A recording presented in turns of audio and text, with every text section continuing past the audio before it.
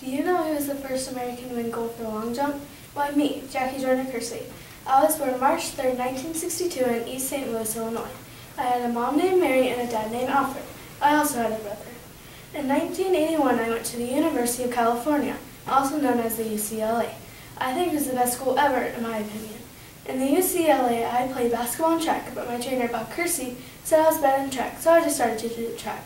That's how my career started. In 1984, I did my first Olympic. Now I'm the first American to win gold for long jump and the first woman to win more than 7,000 points. I also held a record four times in heptathlon. Then I was the greatest female athlete.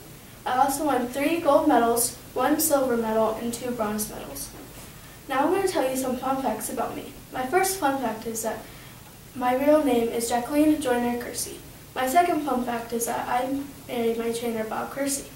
My third fun fact is that I also played volleyball. My fourth fun fact is that I was named after John F. Kennedy's wife. My fifth fun fact is that I retired from age 38 due to pulling a hamstring and my asthma. In 2015, I've been helping youth in my hometown, St. Louis, Illinois. I hope you won't remember me as a runner, but as a great person too.